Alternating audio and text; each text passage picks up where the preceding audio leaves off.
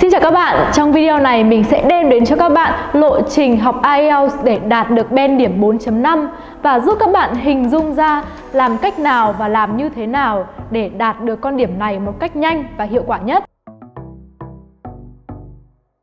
Trong video này chúng ta sẽ đi theo trình tự nghe, đọc, nói, viết như một kỳ thi IELTS chính thức và đầu tiên chúng ta hãy bắt đầu với làm như thế nào để đạt được 4.5 trong phần thi listening. Trên đây là bảng điểm phần nghe và như các bạn đã thấy để chúng ta đạt được con điểm 4.5 thì chúng ta phải đúng được ít nhất 13 câu trên 40 câu. Lời khuyên của mình cho phần nghe đó là các bạn hãy luyện tập thật kỹ part 1 và part 2. Tại sao lại như thế? Bởi vì hai phần này là hai phần dễ kiếm điểm nhất. Nội dung chung của part 1 và part 2 sẽ chỉ xoay quanh những vấn đề của đời sống thôi như là uh, mua nhà này hoặc là đặt vé xem phim đặt uh, chỗ đi nhà hàng bí kíp của mình dành cho các bạn trong phần này. Đó là hãy nghe nhiều và cố gắng ghi nhớ và chép lại những từ mà bạn nghe được vào giấy. Hoặc là có thể đọc các đoạn văn trong phần reading và ghi âm lại để mình có thể nghe lại giọng của mình. Vừa luyện được khả năng listening và luyện được khả năng speaking nữa về phần reading mình cũng sẽ đặt bảng điểm ở đây và các bạn nhớ nhé để đạt được 4.5 phần reading thì giữa bài thi IELTS General Training và bài thi Academic sẽ là hai thang điểm khác nhau. Để đạt được 4.5 trong bài thi tổng quát, số câu đúng giám khảo yêu cầu là 19 đến 22 trên tổng số 40 câu. Về bài thi IELTS học thuật, các bạn cần 13 đến 14 câu đúng trên tổng số 40 câu hỏi. Để đạt được 4.5 trong bài thi tổng quát, số câu đúng giám khảo yêu cầu là 19 đến 22 trên tổng số 40 câu.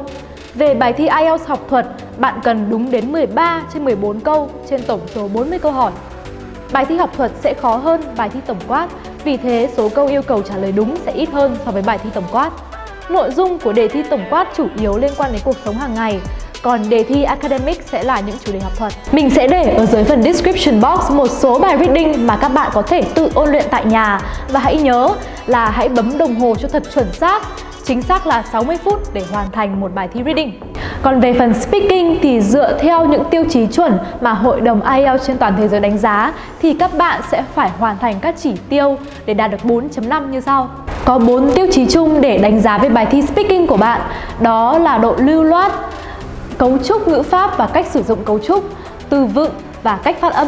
Về độ lưu loát, các bạn có thể sử dụng các từ nối đơn giản, ví dụ như là wow, however để nối các câu nói với nhau và các bạn cũng có thể mắc các lỗi như là lặp từ này hoặc là nói sai thì cũng được chấp nhận. Trong phần thi này thì về từ vựng, các bạn phải thuộc những cái từ trong những chủ đề quen thuộc của chúng ta hàng ngày như là chủ đề gia đình, chủ đề nghề nghiệp hoặc là thời tiết và các bạn cũng có thể diễn đạt các ý cơ bản của những chủ đề phức tạp hơn. Bên cạnh đó là về ngữ pháp và cách sử dụng cấu trúc thì các bạn cũng phải sử dụng được các cấu trúc đơn giản hoặc là các thì đơn giản như thì hiện tại đơn, hiện tại tiếp diễn hay là quá khứ đơn, quá khứ tiếp diễn. Còn về phát âm thì có thể khả năng phát âm của bạn còn có hạn bạn có thể mắc những lỗi sai khi nói chuyện với ban giám khảo nhưng bạn phải nói được những từ dễ ví dụ như là good hoặc là bad. How are you? What's your name? Bạn vẫn phải phát âm đúng những cái từ ngữ và cấu trúc đơn giản như thế Tips của mình dành cho những bạn trong phần này là hãy luyện nói, luyện nói nhiều nhất có thể trong bất cứ trường hợp nào và hãy luyện nói những bài nói đơn giản thôi. Ví dụ như là giới thiệu về bản thân này hay là giới thiệu về nghề nghiệp, trường học hay là cơ quan làm việc của bạn. Tiếp theo là cố gắng đừng xa đà vào các bài nói quá khó hay là những cấu trúc khó hiểu vì có thể khi bạn vào phòng thi bạn lại run quá và quên mất những cấu trúc đấy thành ra là bạn lại nói quá là vấp đối với các người chấm điểm của bạn vì thế bạn sẽ gây ấn tượng không tốt đến với ban giám khảo mình cũng đã thực hiện một video về 4 bí quyết tự ôn luyện IELTS tại nhà. Nếu bạn cảm thấy video nó cần thiết thì có thể ấn vào đường link ở đây và xem nó sau nhé. Về phần writing thì mình đã tổng hợp các tiêu chí mà bạn phải đáp ứng để đạt 4.5. Mình đã để ra một cái bảng ở đây, các bạn có thể theo dõi nó luôn nhé.